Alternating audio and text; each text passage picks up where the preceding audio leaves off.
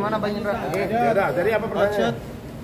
Bang, untuk kasusnya Nikita Mirzani ini kira-kira itu uh, buat dia nyampe menjadi di nyampe vonis itu uh, udah berapa persen sih kemungkinannya? Itu tadi kan putusan selah ya. Kalau putusan selah itu berarti nanti masuk ke pembuktian. Pembuktian itu biasanya nanti itu kalau nggak salah bisa sampai 6 sampai 8 kali sidang lagi. Mulai dari saksi-saksi, saksi di si pelapor, saksi telapor, saksi ahli, ya bisa bisa 6 sampai 8 kali lah kalau nggak salah. Tuntutan pledoi, Ya tuntutan pledoi, vonis. ya ponis. Tiga bulan lagi lah. Ya kurang lebih tiga bulan lagi lah. Tadi ditolak ya? Oh, putus seselahnya. Alhamdulillah. Bang, berarti untuk uh, apa yang untuk laporan hari ini mungkin uh, yang kejadian kemarin atau seperti apa? Apa? Yang kejadian kemarin atau seperti apa? Gimana gimana? Yang kejadian berikut yang kejadian kemarin. Oh iya iya iya iya.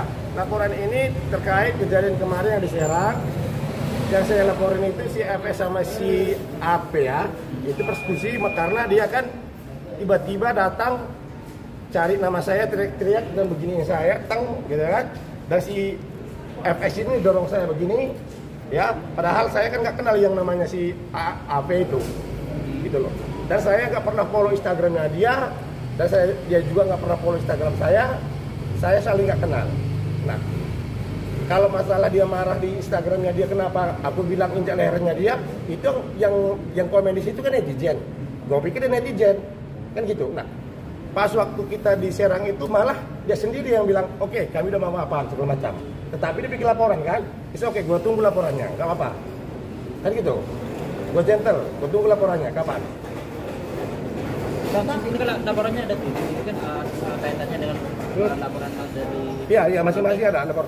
Mas ini lapor siapa mas? Oh, KPS ya tentang pasalnya 273 dan 310.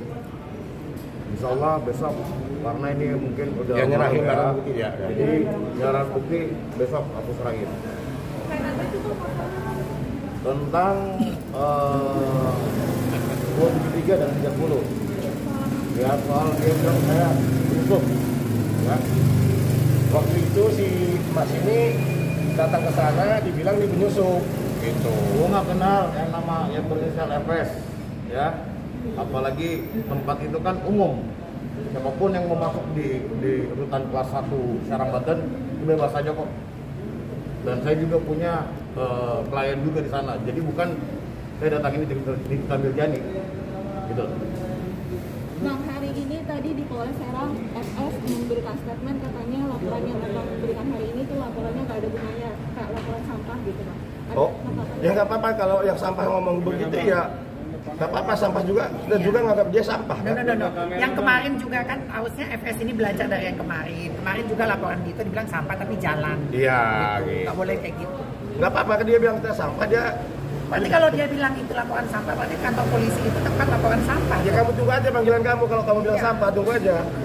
Berarti jangan berar- berarti bapak-bapak polisi semua ini kalau laporan ini dibilang sama dia sampah berarti instansi ini juga Iya. dibilang juga sama dia. Siapa pun berhak melaporkan. Iya, Se- gitu loh. Selaku warga negara Indonesia. Iya. Jagalah mulut jangan sok jagoan. Iya. Ini negara hukum loh. Iya gitu. Kemarin kan sudah sempat pelukan juga tuh Ya. sama itu. Nah itu dia makanya aku pikir begini. Dia udah pelukan, udah minta maaf. Kamera, Ada was, udah whatsappan loh sama saya. Oke bang nanti kita ngopi ya bang. Oke Fo- eh, Instagram abang namanya apa? Dikasih, aku follow, aku tag juga dianya ya kan.